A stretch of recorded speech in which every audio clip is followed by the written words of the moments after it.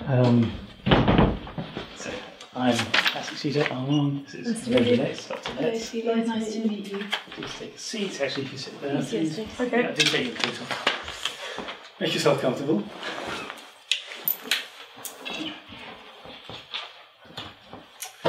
Great. Um, well, thank you very much for coming. We thought we'd start by asking you what your specific interests are in the classics and why you- classics is something you want to pursue here. So I have a real interest in uh, epic poetry. Um, something I wrote about in my personal statement. Um, I am really intrigued by the language. Um, I love studying Latin and Greek at A level, um, and I really want to explore more about epic poetry, and that's really what drew me here. Great. Okay. Thank you very much. I, I, I was very interested by your personal statement, and I, I noticed that you um, had had a very uh, interesting time excavating at Vindolanda. Tell me a little bit more about that. How did that impact on, on the on the interest that you already had in the ancient world? So I was obviously I love the language and I love the literature, but I really wanted to explore um, a bit more about the, the classical world. Um, and excavating at Vindolanda was one way I could do that. Um, I found it so fascinating. It was just a completely different experience to being in the classroom. Um, I felt so much more involved. Um, and really getting to discover um, you know, piece, straps of leather from thousands of years ago It's really just a completely different experience and something that I really relished in um, complementing the work that I'd already done in school. So, given that this is a highly text-based course, Mm-hmm. do you think that's an important basis for something that you might like to do afterwards that includes archaeological work? Because it is very different, and I mean, this is not a course where we do digging or archaeological material remains. Absolutely. I think my my passion is so deeply within the text, but actually having that experience of archaeology helps me like informs me about texts, and so actually it gives me a bit of a different perspective on how I approach those texts because of this knowledge. Um, I don't necessarily want to become an archaeologist. It's not something that I think I'm Mm. particularly talented at, um, but I think it's it's another way that I can become a bit more well-rounded classicist because I've got this different side to me. Brings it to life for you. Yeah. Absolutely.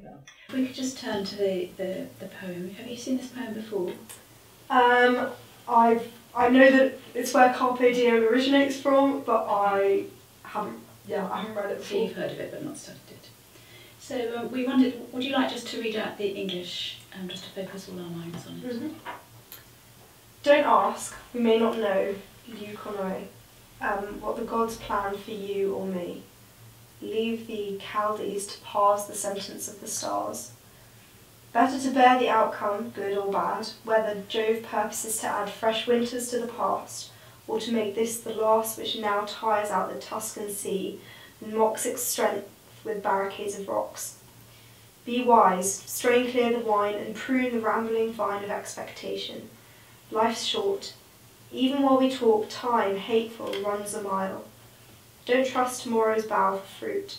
Pluck this, here, now. Very well read. Thank you. Um, so the first thing I wanted to talk about was um, Horace. Horace addresses a woman, Leuconoe, um, and I don't know whether you've made any kind of picture of her from just from the poem. But does it matter who is addressed by whom? I think it does because I think the fact that A, he's talking to a woman, I think that's incredibly um, influential. I, I mean, I don't know how often that's an occurrence in Horace, but I think it's quite startling um, that women's even mentioned in uh, ancient literature. Um, but also, to some to a certain extent, it doesn't matter that much because I don't think the content of what Horace is saying would be much different if it was anybody else. Um, Okay, Yeah. and, and, and uh, what do you think the relationship might be between um, Horace and Leuconoe? um, well, I don't think it's um, any sort of romantic relationship. Um,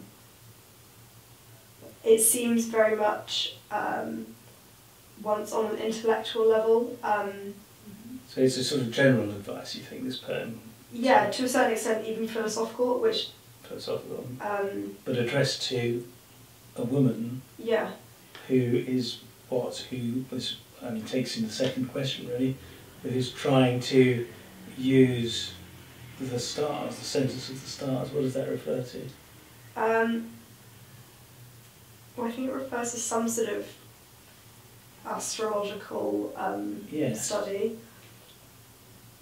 So she's using astrology to Mhm. ask um, what the gods plan for you or me. Um, there's some implication there of a relationship or not?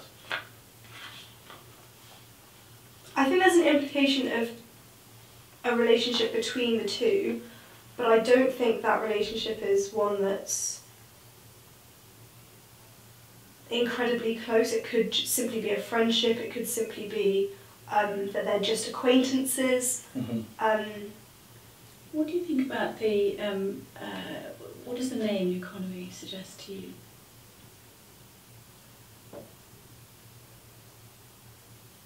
um, it sounds very Eastern. I don't think it's. I mean, it's not a Latin name that I've ever heard before. No, so it's, it's, if I said it was a Greek name meaning white mind, Mhm. literally, do you think that would give us any indication of the kind of woman that Horace is addressing? To my mind, the first thing that you said was um, some sort of priestess or someone who is in some way an intellectual because to me, like, the, I know white, like, Mm. I'm just thinking of purity and I'm thinking of minds and some kind of. like, In my mind, she has status within Greece. And do you think that's, uh, it's interesting that you, you mentioned at the beginning that you were very surprised to find a woman being mentioned um, in a poem. Um, uh, and uh, I'm, I'm wondering how much your sense of who this woman might be and what status she might have um, proceeds from your own sense of surprise at her being there at all. I think my surprise is to do with the fact that she's mentioned in a poem that isn't uh, to do it, is an elegy. It isn't. Um. She, she to me she doesn't occupy the same role as like someone like Lesbia in Catullus. Mm. Um, and so I would immediately just associate her from that um, sphere. So I would think that she has some status in society. Right, okay. Okay. So how do we, how should we understand the image of the sea and rocks, do you think? The, the winters which now tires out the Tuscan sea and mocks its strength with barricades of rocks. What's going on there, this image?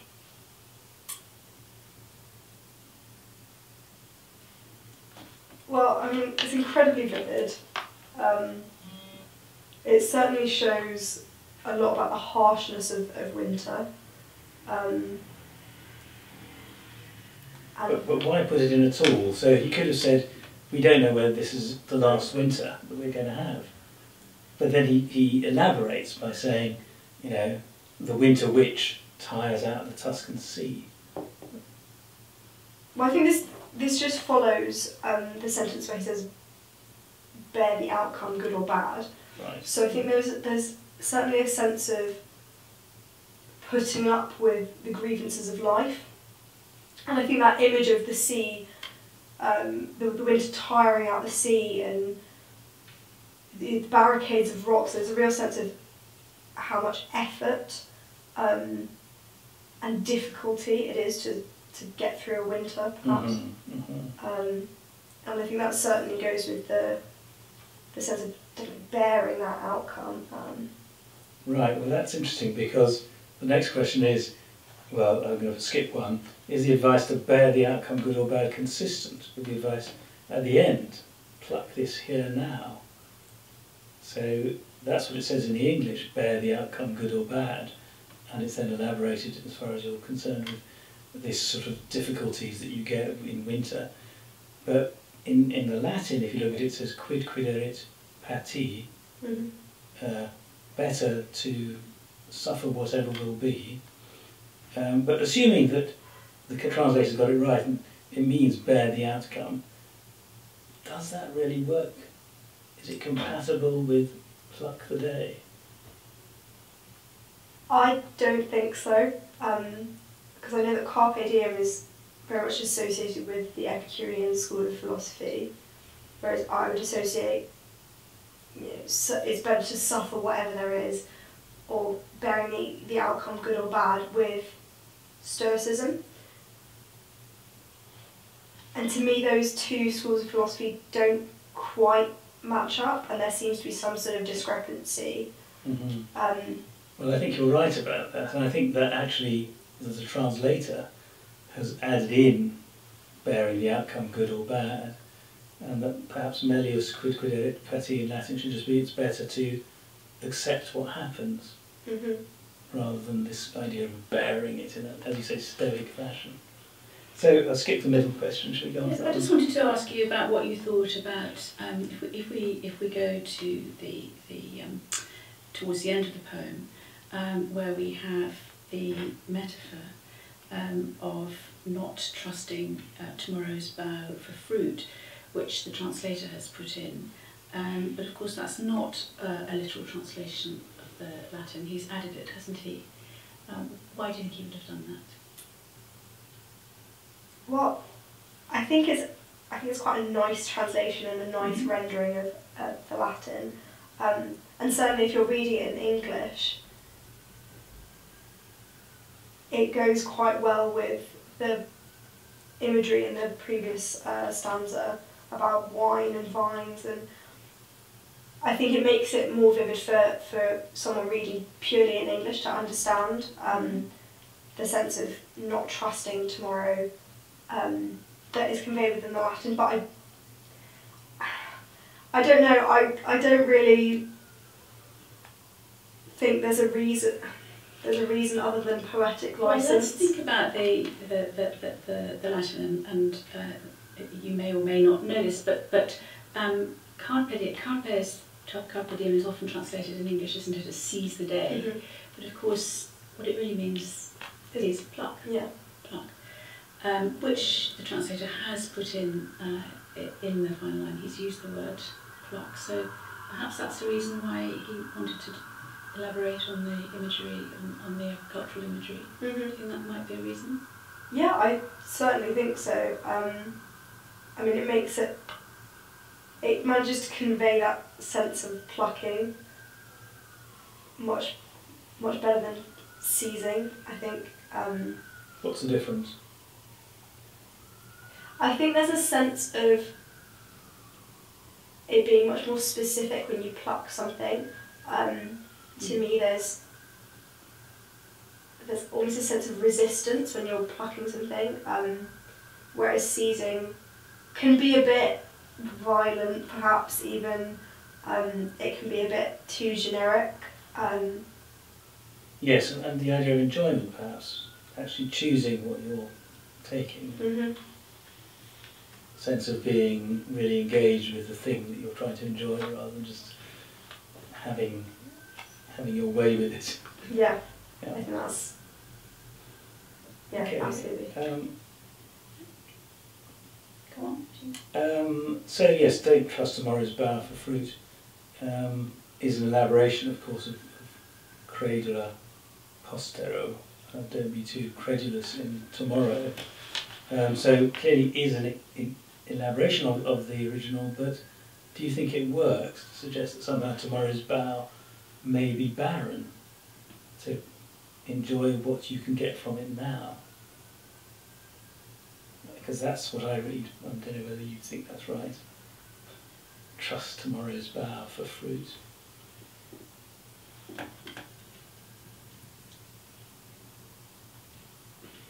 I mean,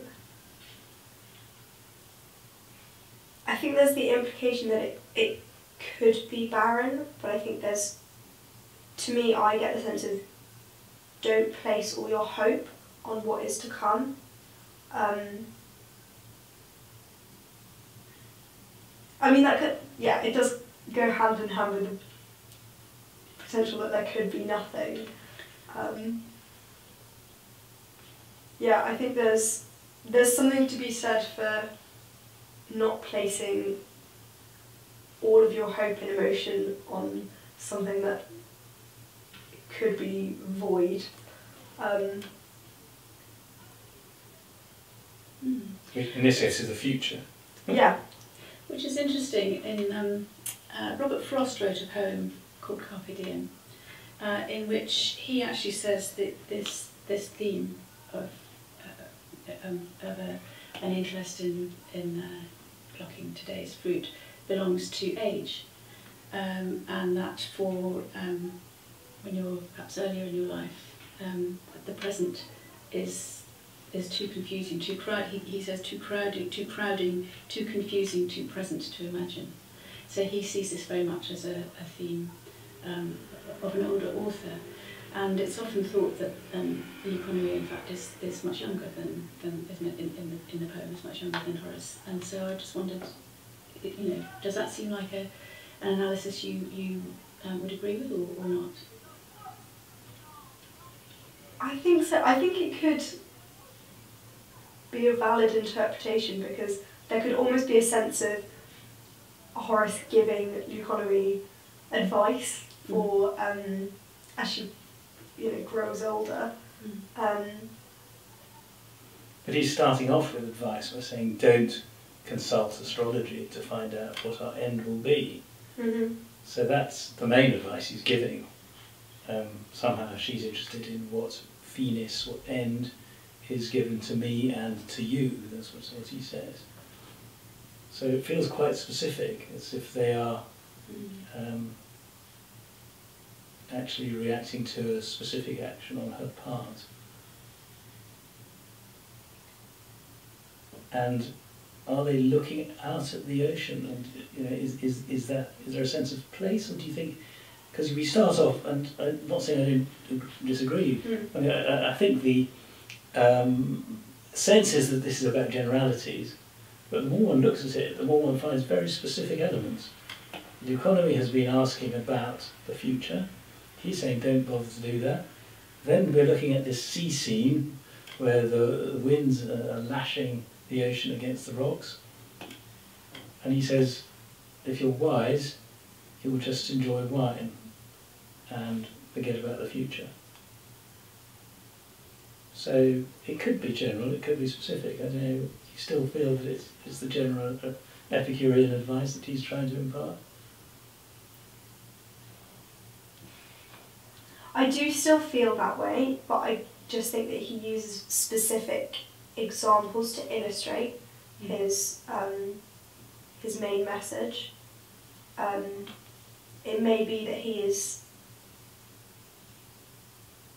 with Leuconoe as she's asking Mm. what the God's plan, and actually his way of illustrating um, his philosophy is using again these specific uh, examples that will help her to um, to realise what he's saying. Right, so your answer to the last question, is it meant to be taken as serious philosophical advice, is, is yes, more or less. To her, I think potentially, but as a just as a reader of the poem, I don't think so at all. Right. um, again, there's that, that there's that discrepancy between um, the elements of Stoicism and Epicureanism that I don't think quite marry up, and I don't think.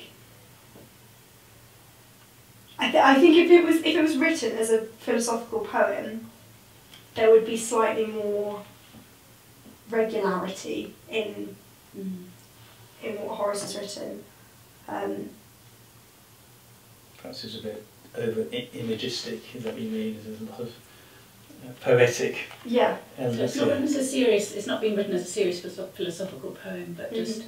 someone trying to make sense of life and yeah. um, drawing on different elements. Yeah, and I think Horace has capitalised on the poetic um, ability that he has Yeah. to illustrate his message. Thank you very much. Thank you, yes. Have you any questions for us? I don't think so. Either about this or about anything else. Um, oh, I did actually have a question about the Chaldees Mm-hmm. Right. because are they something to do with the? I just couldn't work out what who they were supposed to be. Right, Yeah, so that's- the word is Babylonians in Yeah. Latin, Babylonians. Mm. And uh, one of the names for Babylonians you get in the Bible, Ur of the Chaldees, have you come across that? Ah, no. Okay, that was in Babylonia, so for the poet, for the translator's purposes, it fitted to use that rather than, rather than the word Babylonians in that line. That's the only thing. Well, it- the reference is to is to Babylonian astrology, ah. and she's been obviously been casting numbers and trying to actually get some answers to her questions about the future. Good, well thank you very much for coming, it's very nice to see you. Thank you.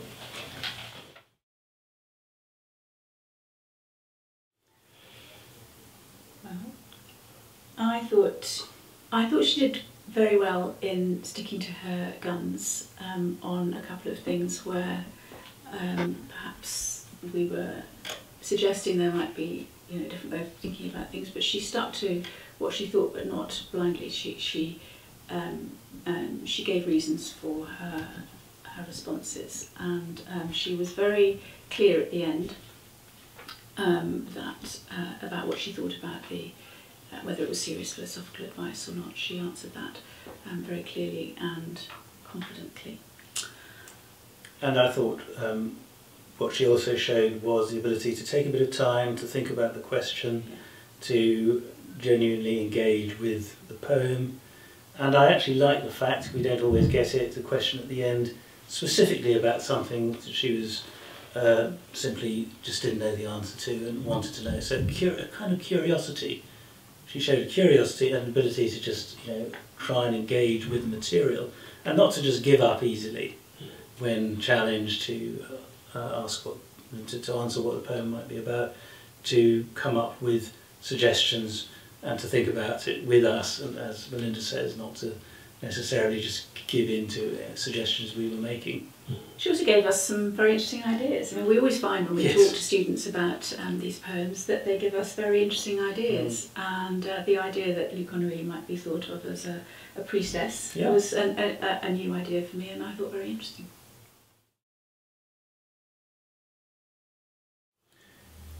We looked for um, a series of different things. Um, we actually have a piece of paper which we then grade them on afterwards.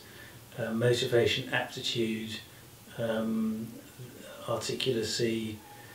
Um, essentially, we're looking for potential. So, um, knowledge is one thing which they're expected to have up to a certain degree, but not for the specific thing we will be asking. So, with any luck, they won't have seen the poem or passage that we present.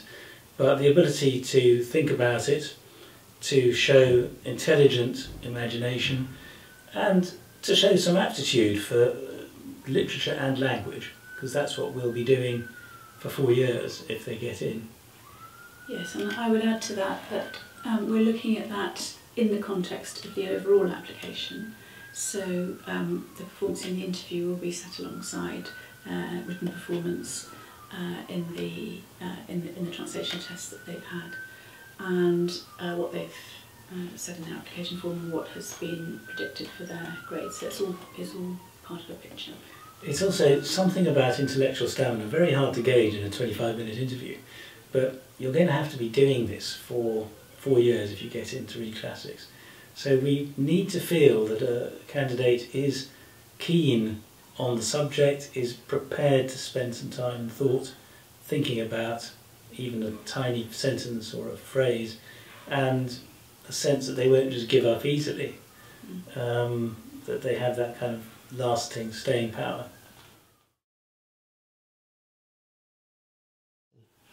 Well, it doesn't matter, no, if you don't know Greek or Latin, they can be taught here. Uh, and some students uh, arrive with no Latin or Greek and choose to learn one language. Some choose to learn both, which is hard work but can be done. Um, and then some students arrive having done Latin uh, and Greek A level. Those who have done Latin and Greek A level, we are looking for a strong performance in the language tests, which are translation of unseen passages. Um, those who have not done the languages before uh, are asked to take a language aptitude test where they are given some simulated, um, some simulated questions uh, to see how they would respond to learning a language that is structured in the sort of way that Latin and Greek are. So it would be helpful for candidates for these uh, courses to have a strong linguistic aptitude, and that's what the linguistic aptitude test uh, aims to examine. But it also suggests that if they've already done some French or Italian or Spanish uh, for A level, certainly for GCSE, that they are more inclined to be linguistically adept, and uh, that's important.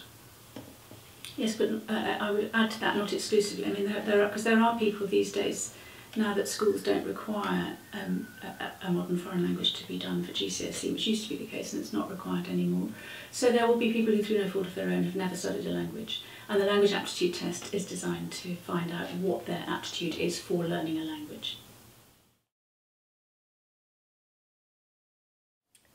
Um, I think it went okay. I was quite nervous, um, but and it was a bit it's a bit daunting to be confronted with a poem that you've never really seen before.